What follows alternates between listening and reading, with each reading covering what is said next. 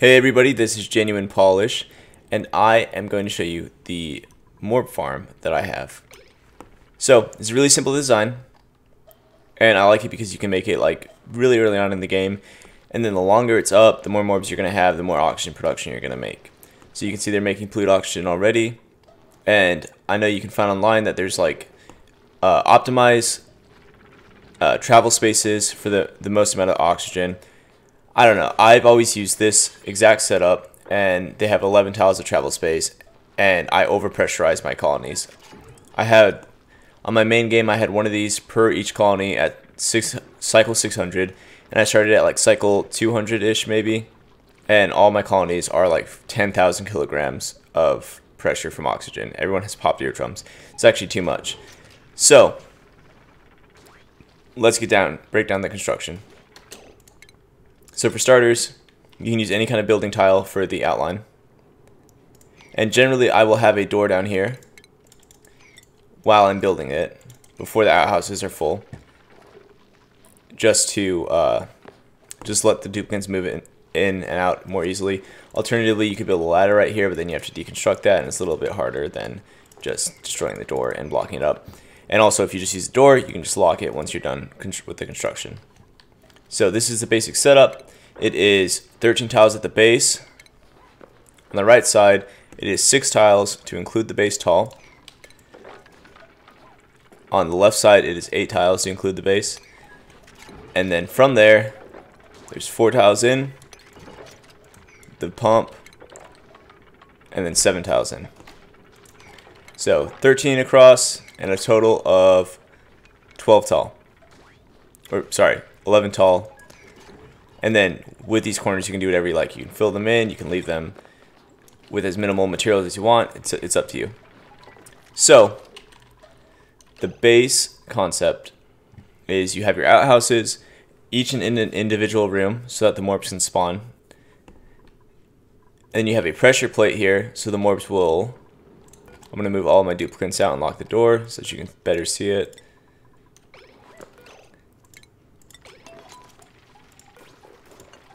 Okay. So you have a pressure plate here, so the morbs will step on it, then they'll either jump to this door, stop on this door, and fall. And then they'll collect down here, and it'll free up these spaces so that new morbs can spawn in a couple of cycles. Okay, so now to break down the automation, I like to have an atmosphere sensor set to 800 grams to prevent the room from becoming too pressurized and to make sure that you're getting as much oxygen as you can, as frequent as you can. It's not necessary at all. You could have a timer, you could just have no automation and have the pump running most of the time because with any amount of morb population, you're probably not going to get a vacuum down here. Even if you have the pump running continuously, you might, probably not though, but if you do get a vacuum, the morbs can't produce polluted oxygen. So that's why I like to have the atmosphere sensor. So it's not constantly running, it's not constantly using power, and you're not going to draw a vacuum. So you might be looking at this and be like, wow, they are not falling down very often. Well, one just fell down right now. And yeah, sometimes it takes a while, but the morb spawn rate is every one, I think it's one and a half to three cycles.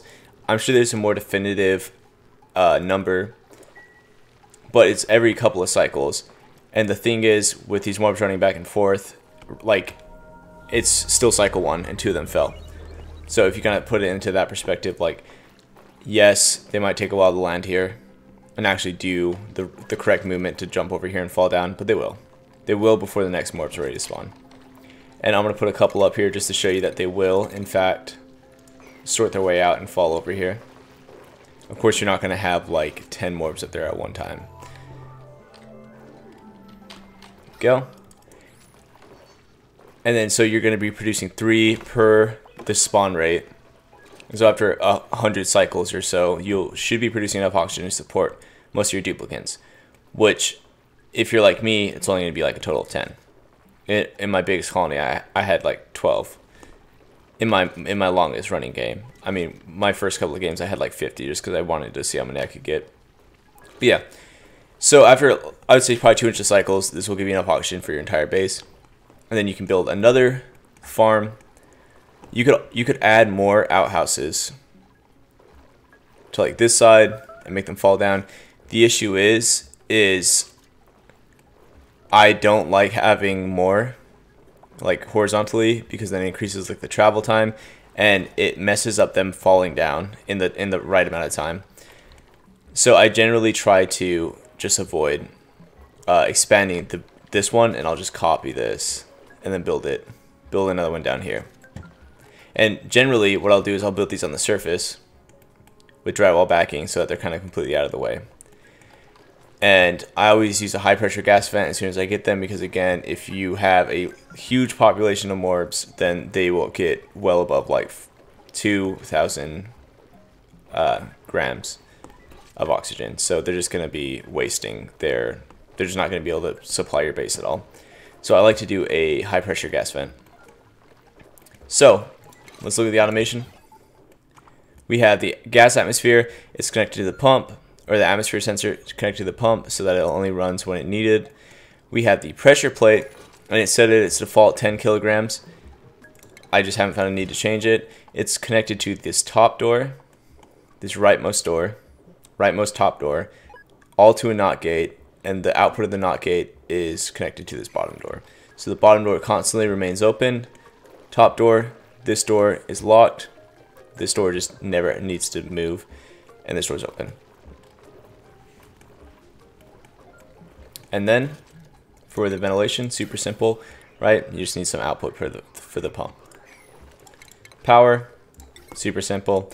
Also, that's why I like this design. I like to not fill in this because you could, and this is only two tiles tall, so it's not a lot of usable space.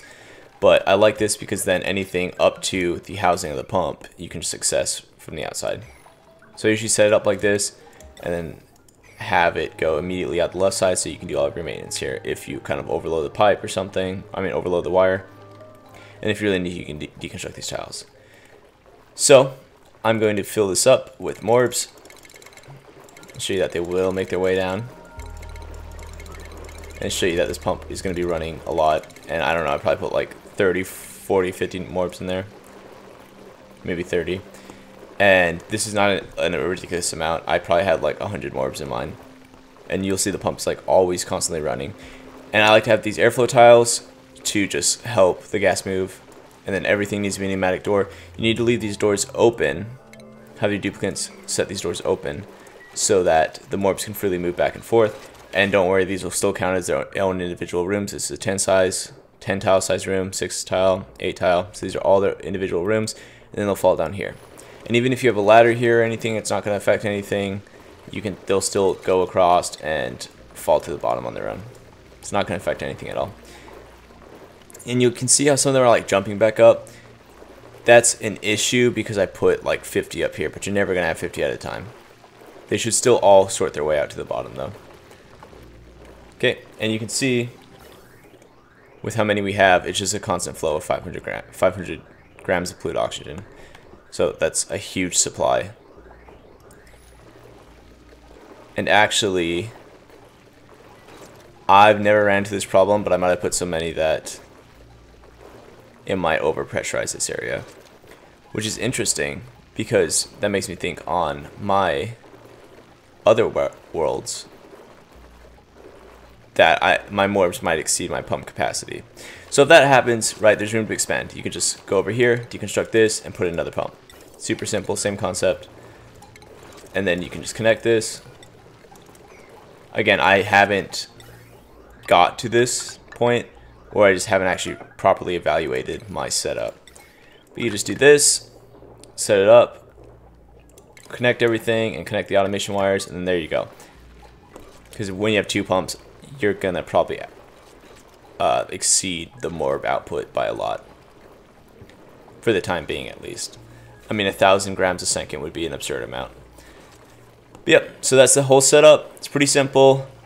Uh, you can make it look as nice as you, you want. You can use insulated tiles if you prefer. Metal tiles, it's just up to you. It's preference. And then what I like to do is I like to put it at the on the surface, kind of out of the way. I don't know if all these moving bodies and this pathfinding will slow your computer. It probably will eventually. Especially with all your other farms, like your hatch farms and everything it might slow your computer. So I like to put this off screen so my computer is not constantly seeing all these things moving.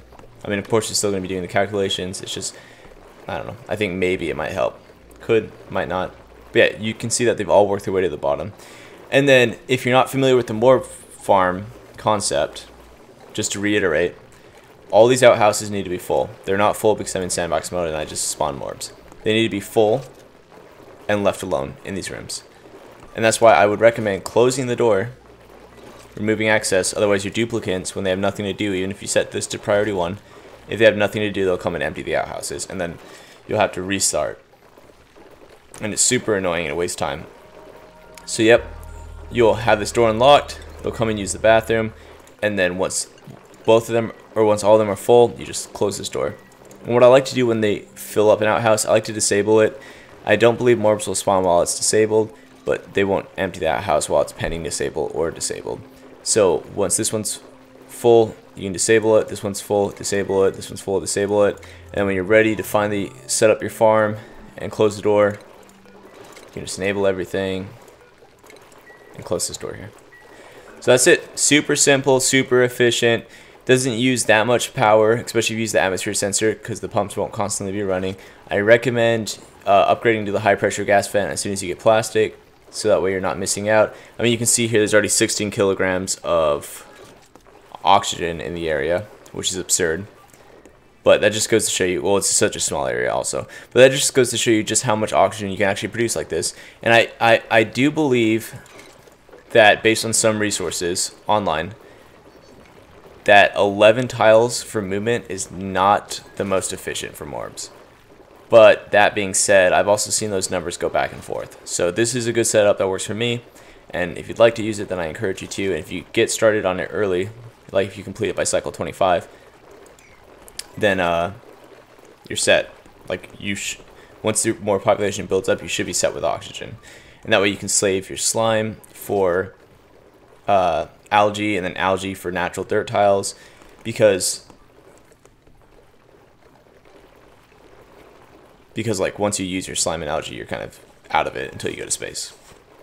All right, I hope you liked the video. It's a super simple concept. I'm gonna go through the electrical, the ventilation, and the automation one more time just to show you. So again, this is all redundant stuff that you don't need. It's not part of the actual construction. It's just if you do have an excess of uh, morbs which I don't think you would. Well, you might. You might. Like I said, you might. But so super simple, right? Automation from the pressure plate, top door, right top door collects to the input of the NOT gate. The output of the NOT gate goes to the bottom right door. And then these ladders are not necessary. And that's it. Hope you liked watching. Hope it was helpful. Uh, let me know if this design worked out for you. I've seen other Morb designs, but they're a lot more complicated. They use a lot more refined metal, and I don't know. I tried to use some of them before, and it just didn't really work out. So then I just built this, and it's just been working perfect for me this whole time. Yep. Let me know if you like it, and then subscribe for more videos like this. I'll be doing a couple more like how-tos for Oxygen not included. I might move on to other games, and I'm just doing a uh, colony playthrough on my, my channel. So if that's something you'd be interested in watching, I'm trying to get the cycle 1000, then go ahead and click on those videos. Thanks for watching. Peace.